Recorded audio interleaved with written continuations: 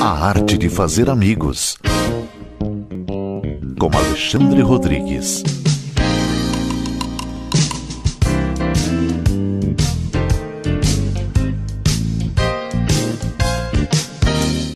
A arte de fazer amigos, esta semana tenho o prazer de trazer até você Endereços Incertos. Esse é o nome da exposição, esperada há mais ou menos quatro anos, porque faz mais ou menos quatro anos que Daniel Escudeiro começou a se inspirar para trazer essas maravilhas que você vai ter oportunidade de ver hoje aqui na exposição que acontece no Palacete dos Leões, em Curitiba, Galeria de Arte do BRDE. É isso, né, Daniel? Espaço Daniel, cultural. Espaço Cultural do BRDE. Daniel, é um prazer ter o Nar de Fazer Amigos. Eu estou muito feliz por estar aqui junto com você e poder apreciar essas maravilhas, como eu tinha dito, dessa série de obras que estão aqui. E parece-me também que você também iniciou essa semana uma exposição no Blue Tree. É isso, né? Sim, eu estou com duas exposições individuais na cidade uma no Blue Tree e outra aqui no Espaço Cultural BRDE. E, especificamente essa daqui é sobre o tema é, calçadas e ruas de Curitiba. É um tema que eu estou pesquisando e desenvolvendo faz uns quatro anos mais ou menos. E praticamente é um espetáculo, é um espetáculo mas praticamente foi o primeiro tema que eu tive na minha vida, né? Que, ah, porque eu sempre fazia uma variação de trabalhos, né? e o pessoal me cobrava muito eu ter um tema próprio para, para ser conhecido e um bom dia descobri que esse tema estava em qualquer lugar, nas ruas, nas, nas ruas que eu ando, nas calçadas. Você está aqui no Brasil fazem 35 anos, é isso? 35, se não me engano, mais ou menos isso, não sei, na, mais na verdade. ou menos isso. É, vim com e no Paraná? Paraná agora faz sete anos, mas eu já tinha morado umas duas vezes antes, sempre me lembrava daquela cidade ordeira, é, sem engarrafamento nem nada, né? E agora vim aqui, encontrei. Encontrou quase tudo isso. Tudo bagunçado, né? Mas é, Curitiba é um lugar muito bom de se morar. Eu já morei em muitos lugares do Brasil e realmente eu queria voltar para Curitiba da última vez. Não, aqui é, é um lugar bom. maravilhoso, é gostoso, é inspirador, é um mercado não tão fácil para a arte, não, mas é. é o berço de muitos artistas bons, né? Temos muitos artistas aqui que a gente gosta de estar sempre homenageando. Mas Daniel, conta um pouquinho da sua história. Você veio de Buenos Aires para cá e você começou com arte com qual idade? Ah, de arte eu nunca parei, né? Desde criança que eu desenho.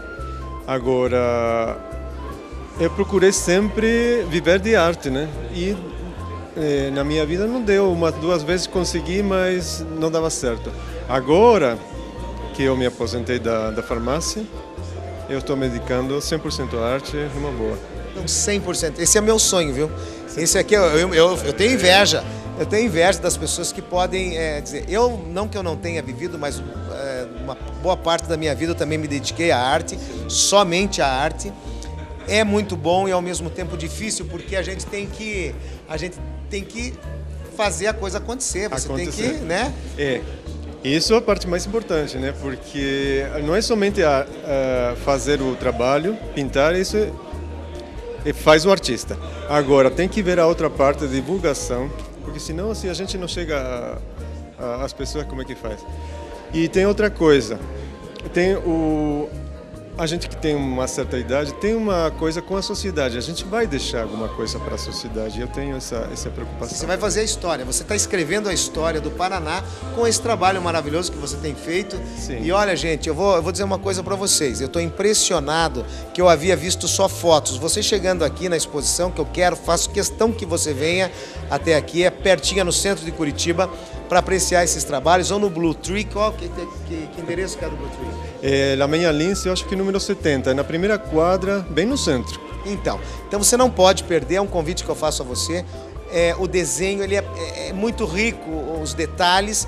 E eu vou dizer uma coisa, ele estava falando aqui agora há pouco que ele começou, não foi pelo desenho, sim pela pintura, e, a, e foi descobrir o desenho de, de, de um tempo para cá. Exatamente, eu, eu fazia, eh, quando criança fiz um pouco de desenho sombreado e esqueci. Depois, na, na fase adulta, eu comecei a pintura, eh, a pintura, que é o que mais gostava, e eu esqueci o desenho, eu fazia dois ou três rabiscos e já ia direto no pincel. E faz uns dois anos eu eh, comecei a trabalhar mais com desenho sobre tela e depois eu trabalho com cores transparentes por cima.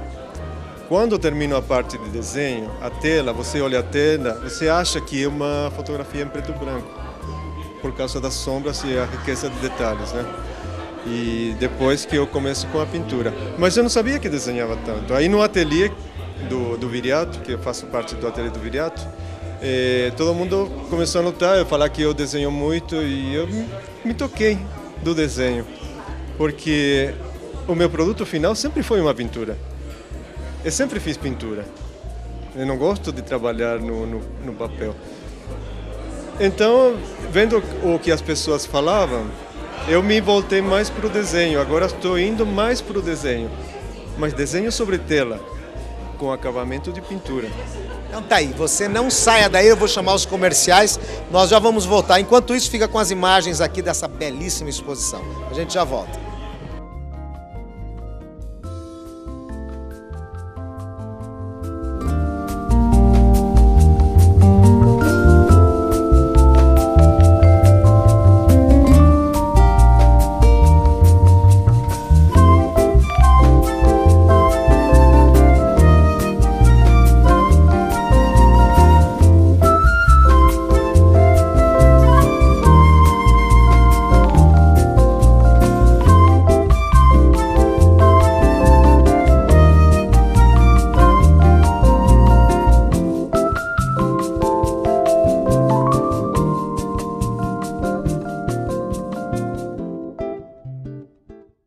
Sempre inovando, a MV Contabilidade implantou o sistema de gerências de unidades contábeis para otimizar o atendimento aos clientes. Cada gerência possui uma equipe altamente especializada em assuntos do departamento pessoal, fiscal e contábil. Dessa forma, o atendimento passa a ser centralizado e o cliente tem fácil acesso a todas as soluções. Assim, fornecemos assessoria contábil objetivando o fortalecimento do cliente com equipe de profissionais qualificados visando o crescimento mútuo. MV Assessoria Consultoria Contábil. Nós cuidamos dos números para você obter os melhores resultados.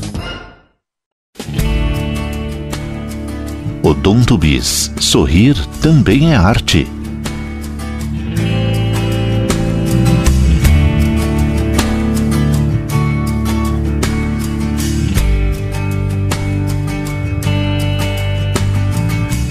Odonto Bis, Avenida Salgado Filho, 1925, Guabirutuba. 3395 1199. Surpreenda-se! Os novos sabores do mar chegaram a Curitiba. Donasta Frutos do Mar. Comida saborosa, altíssima qualidade. Camarões, peixes, petiscos, saladas, sopas, carta de vinhos. De terça a sexta, jantar. Aos sábados, almoço e jantar. Domingos, almoço. Donasta Frutos do Mar. Surpreenda-se. Reservas 3016 7010.